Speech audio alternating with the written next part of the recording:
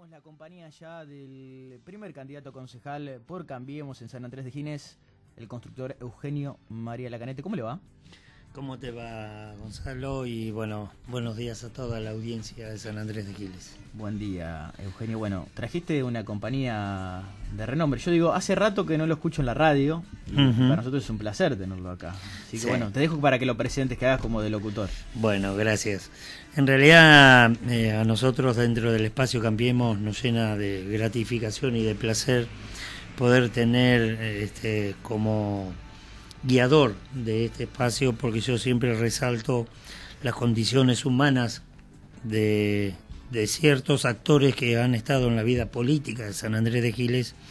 El doctor Aldo Hugo Nacimbene para nosotros es un referente muy importante.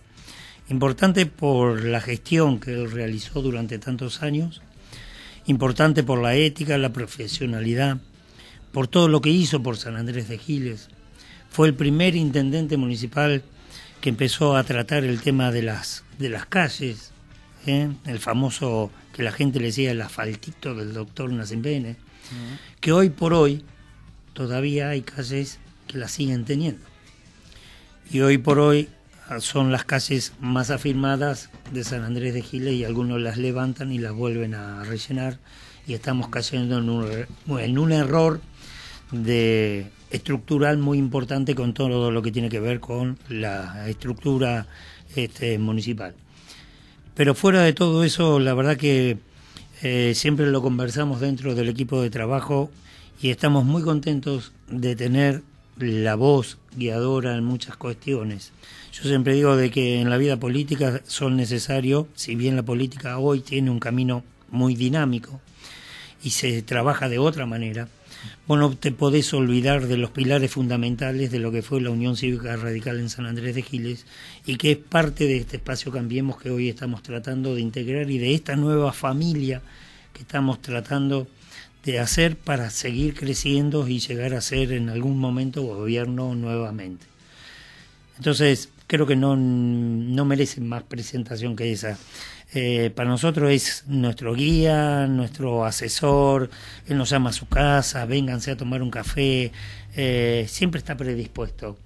Y bueno, los jóvenes, los jóvenes que a veces nos olvidamos de escuchar la palabra de los mayores, que fueron los que nos educaron y nos dieron esta calidad de vida que hoy tenemos, para nosotros es fundamental. Por eso quise invitarlo y él me dijo, los voy a acompañar. Así que no te digo más nada. Este, para mí, si sigo hablando, termino llorando, porque no, no, porque en realidad, pues sabes que yo rescato y quiero muchísimos a nuestros abuelos de San Andrés de Giles y a todos aquellos, por más que hayan tenido el rol que hayan tenido dentro de la función pública o no, pero nuestros abuelos debemos protegerlos y su experiencia la debemos resaltar y remarcar.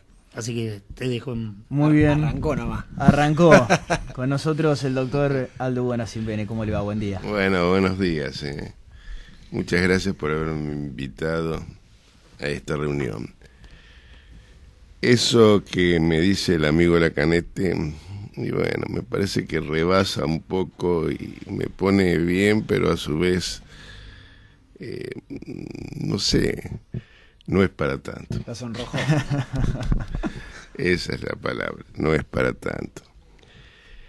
Em, otros tiempos, otros interlocutores, otros momentos, pero esta es la mesa que me recibió cuando empecé antes de empezar esta mesa y esta ubicación dentro de la casa, que me hace acordar mucho lo anterior, lo antiguo. Y lo antiguo a veces nos pone muy melancólicos y también son épocas con otro concepto, con otras realidades instrumentales que no las tenían antes, en todos los aspectos. Pero queda algo que es humano, que es la fuerza, las ganas, el tratar de hacer las cosas lo mejor posible, que se van a repetir, que están repitiéndose y que se van a repetir a través del tiempo. Entro, dentro de la política quiero hacer una primera apreciación. Yo estoy acá, soy, soy radical mm, de los de antes, después les puedo nombrar un equipo mm. de todos los viejos, que sería interesante recordarlos también en este momento y en esta audición, porque hace mucho a, a la vida anterior de San Andrés de Giles. Pero les decía que dentro de la política yo me estoy ubicando en que la Unión Cívica Radical, yo soy radical, hizo el año próximo pasado en Gualeguaychú una reunión que duró dos, dos días donde la Unión Cívica Radical aceptaba y quería contribuir a la, a la postulación del presidente del presidente actual de la República. Es decir, que en cierta medida se unió en ese momento a la Unión Cívica Radical con Cambiemos. Mm. Esa es mi rol. Yo sigo siendo radical, pero estoy tratando, con mis pocas posibilidades, de darle por lo menos un consejo a los muchachos jóvenes. Eh, creo que Giles, como cualquier lugar de, de, Argentina, evidentemente que necesita y que puede favorecerse de todo un poco lo que se está haciendo. No es que nosotros tengamos la varita mágica, no.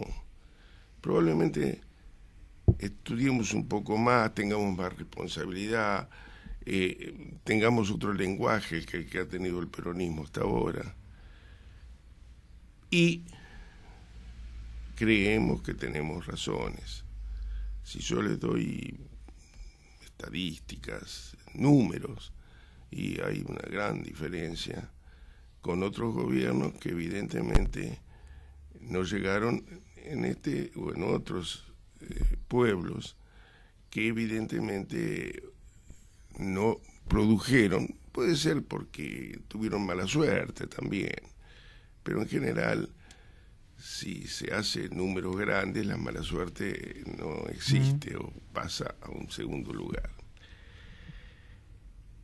Eh, tengo muchísima gente que en ese momento éramos los que en cierta medida decíamos, la política de aquel tiempo, eh, de Simone, que fue intendente, de Belgrado, que fue intendente radical, desde luego. Eh, muchísima gente que no están más, algunos de los bañascos. ¿Y a qué edad empezó a participar? Perdóneme. Mira, yo empecé a participar cuando tenía 12 eh, años. 12 años. 12 años, sí. Cuando empecé el primer año de la, del Nacional. Que incluso iba, bueno, el viejo Lilia Manga, ¿no? Este, qué sé yo, gente que tenía muy buenas intenciones, que en ese momento luchaba mucho como se está luchando ahora, como se está trabajando ahora, porque hay preocupación en, todos los partidos, en algunos quizás con más eh, enjundio, con más profundidad, con más, eh, ¿no? En otros más por arriba, pero en general se está trabajando. En esa época se trabajaba también este, teníamos gente que era mucho más predispuesta a poner plata, no a sacar. poner y no sacar. Interesantísimo. Siempre costó hacer una campaña. Sí, no solamente una campaña, el comité, por ejemplo, el comité, eh, todo el mundo quería que tuviéramos un comité y había que armar un comité y poner un dinero para el comité y había gente que estaba muy bien, que no era conservador, era radical, pero que, qué sé yo, Chambillar, Bourdet, que ponían mucho dinero para que el, comité se hiciera. Y fíjate vos que en, en la República, uno de los pocos partidos políticos que tiene comité casi en el 90% de los pueblos es el radicalismo, que lo han hecho con plata de la gente me contaba la Loya Villar, por ejemplo, que una vez lo pusieron de presidente del consejo, le pagaban, no sé si era un peso por, reunión. Un peso por reunión. Sí, pues,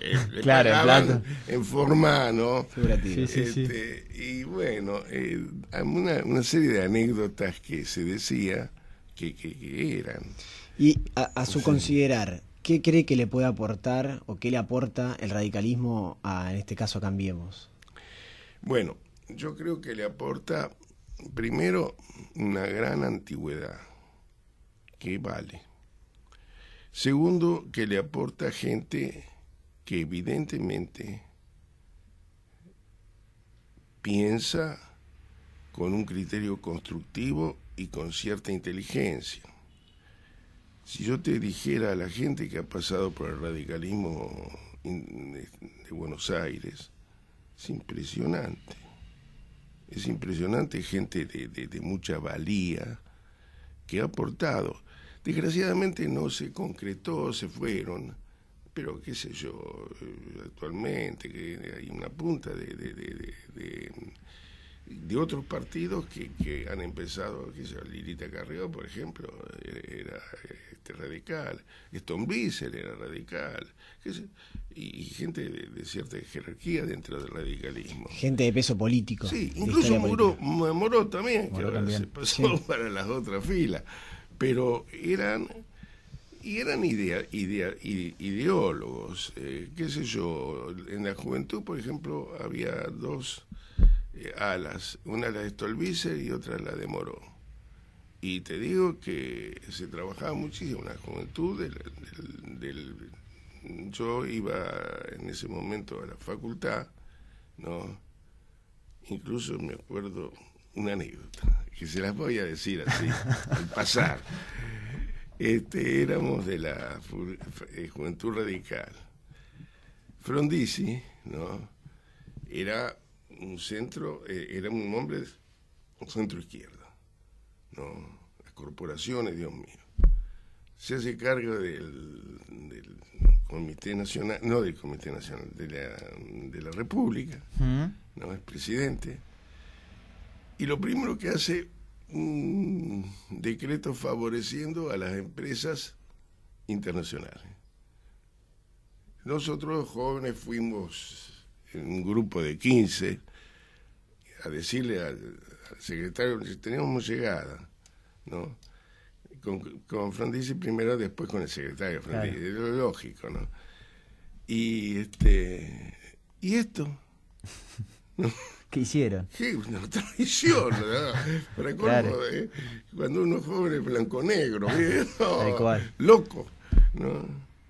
Y el tipo nos mira muy, pues y dice, mire, una frase en la historia equivale quizás a dar marcha atrás a muchas de las cosas que tenían, claro. No le habrá quedado ninguna otra solución si se quisiera seguir sacando cosas que, que, hacer. Sí, que negociar eso. Que negociar. Así que todas estas cosas hablan de que tampoco hay una estructura y que no se rompe. Generalmente pueden eh, tomar aportes de otros, de otros partidos, incluso eh, congraciar, ¿no? Porque a veces la pelea está de acá para afuera, para el público, a veces eh, los, políticos somos amigos, ¿no? Y, es cierto. Incluso no tenemos chance, mirá, que te acuerdas lo que te pasó y a Y, a, y a nivel, por ahí bajando este pensamiento a nivel local, ¿qué le parece que le aporta el radicalismo, un partido con muchos años acá? Al, a un partido nuevo como es Pro Cambiemos? Bueno, yo creo que a nivel local, ¿no? Este, acá aporta mucho, mucho, mucho eh, capital de haber estado, qué sé yo, una punta de años en la comuna que es la mía. Ellos, yo no voy a actuar porque no tengo no tengo este, agallas en el sentido, no, no se me acaba mal físico, pero ellos no me van a, me están consultando desde hace tiempo y yo les voy diciendo mis verdades, que puede ser que no se adecuen en la época, cuidado, no tengo el, don de decir todo lo mejor o, lo, cierto, mm. pero les doy pistas. Y ellos, bueno, la estudiarán y la sacarán o no la sacarán.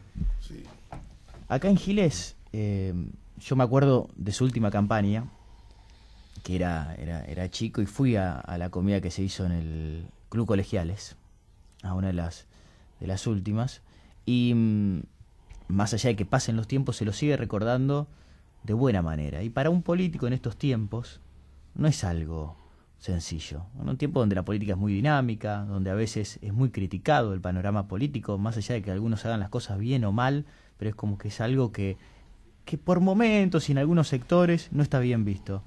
¿Usted lo siente así como que la gente de Giles, cada vez que lo ve y demás, reconoce lo que fueron sus años de trabajo al servicio de la comunidad? Mira, una métrica que es consistente es cuánto tenés, cuánto valés. Yo entré con un capital de 10 a la Intendencia y me fui con un capital de 2. Perdí como 80 vacas, tuve que vender un pedazo de campo, me fue bastante mal, pero tengo un poco así sobre mis hombros el afecto de muchísima gente que, veo que, porque ahora estoy viejo, apenas camino. Eh, doctor. y eso no es tan así, no, pero no es tan así. No es tan así. Ha sido, es más, su última elección fue una elección muy buena igual. Más allá de que no se pudo conseguir el objetivo, es una elección buena que, a ver, en la calle hoy se dice, si no se hubiese ido el radicalismo, Nacimeno hubiese sido intendente. Sí, ahí había otra explicación que es más personal y, perdí por eso. Pero bueno, que no es, mm, yo nunca lo, lo dije ni lo voy a decir. Había una razón, sí. Pero bueno, este, lo importante, yo creo que lo importante no es la vida mía, en cierta medida, es la vida de cualquiera. Eh, tenemos nuestros tengo muchos defectos, ¿no?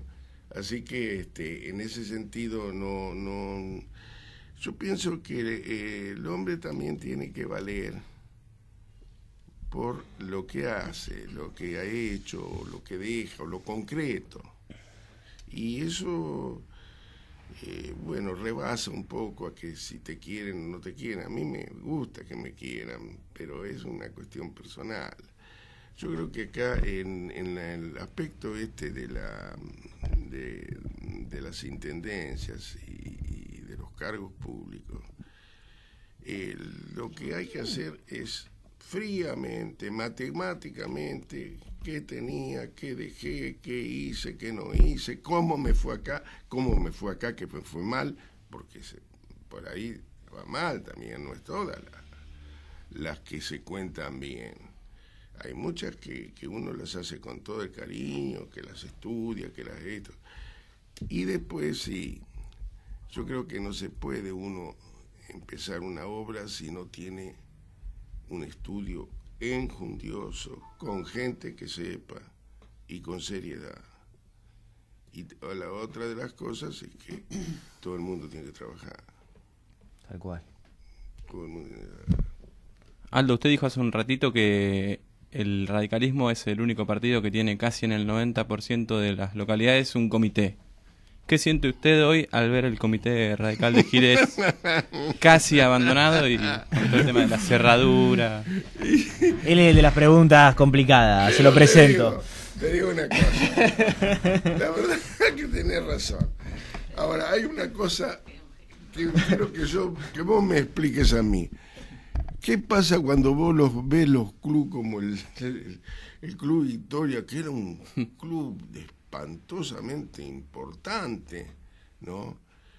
El Club Rauso que se conserva gata y era un, un emporio de aquella zona, que por la gente no llegaba acá, sino que se quedaba allá, ¿no? Y no te digo del Victoria, que pobrecito, el Victoria hacía, una, hacía unas matinés, hacía unos bailes importantísimos, y acá venían eh, títulos atraídos venían orquestas de mucha fuste, de Buenos Aires, que venían al, al Alma Fuerte, venían al Victoria, ¿no? Es decir, hay un, cambio, un cambio estructural que lo da también eh, el mundo, no sé, la, la, la, generación, el, devenir de las generaciones. Yo creo que si yo tengo que explicarlo, digo que la televisión, la televisión ha, cerrado todos los clubes, es decir, mm. eh, prácticamente la gente eh, se reúne en familia al lado del, del, del aparato de televisión. Nosotros, por ejemplo, teníamos en radio, el Doctora Tango Club, ¿no? Eh, el Doctora Tango Club decían que era gente de la de la juventud triunfadora, ¿no? Y en el Doctora Tango Club estaba De Angeli, estaba Darienzo, estaban los mejores orquestas, ¿no? Toda la familia, incluso al lado de la radio, así como hora antes, ¿no? Después venía Peter Fox, lo sabía que era un inspector, este, una de convoy, de, de, de, no de convoy, sino de, de, este, de ser... De acción. De acción, ¿no? Y después venía, no me acuerdo cómo se llamaba, una de una familia media romántica, y eso era como una religión. Todo el mundo, lo, Dios mío, a las 8 de la noche estaba toda la gente y la familia estaba entera estaba el padre, la madre, todo. Ahora el padre y la madre y se va al club, después primero se fue al club y ahora este, prácticamente están al lado de la televisión que reemplaza a través de los tiempos ¿no? las expectativas sobre todo de lo, de lo que uno gusta y uno escucha. En cierta medida eh, es la el devenir del tiempo. ¿no? Bueno, estoy dando mucha... Me esquivó, me esquivó la pregunta. La respuesta va. Aldo, eh, la última ya de, de, mi parte, y tiene que ver con algo que también se ve en esta campaña. Y uno, en, estos últimos tiempos, vemos como todos los partidos políticos le han dedicado mucho tiempo eh, a la campaña y cuando no están de campaña también, porque recorren, andan. Y ese tiempo muchas veces se saca a la familia, a la gente que, que a uno lo acompaña y lo sigue. En ese marco, ¿qué tan importante es la, la familia? para la vida de una persona que decide involucrarse en la política? Y es fundamental. Eh, uno prácticamente eh, está en función de su trabajo. El trabajo, este es el, el de intendente municipal. Eh, reunión que lo invitan a que ir, porque hay que dar ejemplo de que no uno trata de, que todas las agrupaciones que sean para bien, desde luego, no hay que ir no, este, ponen el hombro para que el pueblo crezca. Y el fundamento del, del intendente es que el pueblo crezca, que sea cada vez mejor, que esté mejor la gente, ¿no? Entonces yo creo que hay que ir. Además, el hecho de que una institución lo, invite habla de que lo tiene en cuenta, habla de que eso le da realce a la, función y, uno lo apoya a esa gente que generalmente no gana un peso, tira todo y, pierde tiempo. En todos los clubes, en todos los, los lugares, incluso de las cosas de bien público, no tienen sueldo nadie. Sin embargo, van y, hacen lo que pueden y a veces hacen mucho, otras veces no tanto, pero bueno. Y yo creo que en ese sentido es importante ¿no? apoyarlos. Y si uno está en la cúpula de la, de la, de la, este, de la parte pública, ser intendente, es un poco ser el padre de todos los las familias. De, entonces, yo creo que, que, hay que, bueno, si le gusta mejor y si no le gusta sacrificarse un poco, pero estar. es fundamental en ese sentido la acción del intendente. Ese es el punto de vista social. Después tenés que hacer cosas, porque eh, tenés que hacer cosas. Cosas eh, materiales, ¿no? Mm. Importantes. Tenés siempre estar mirando para adelante. Y, y la otra de las cosas es que a veces tenés que peñarte con tus amigos. Vos tenés que exigir. Y si las cosas no se hacen bien y se hacen mal, querido. Es decir, ahí pasa uno de ser amigo en ser jerárquicamente una persona que tiene que hacer andar la cosa como si fuera de él. Entonces, crea que problema no es tan lindo todo. No, es tan sencillo. Crea, no es tan sencillo.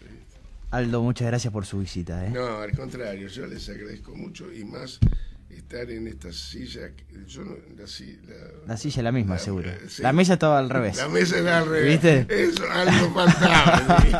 no estaba así, sí. La mesa estaba al revés. Pero he venido muchas veces acá y siempre me han tratado muy bien y estoy un poco este, en deuda con ustedes, con la radio en general y con Radio Tito, que en esa época había esa sola.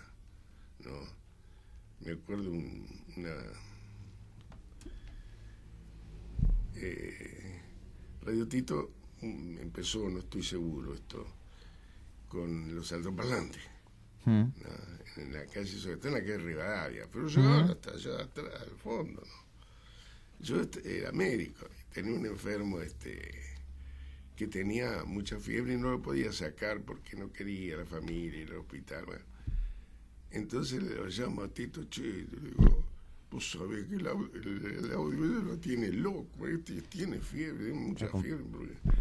Y me acuerdo que yo estaba saliendo de la casa y el tipo puso la escalera. Y se enchufó para adelante.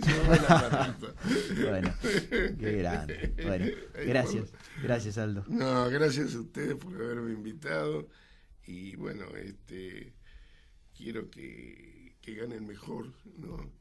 Y que, bueno, este en general sea todo para bien de Giles. Lo de ustedes,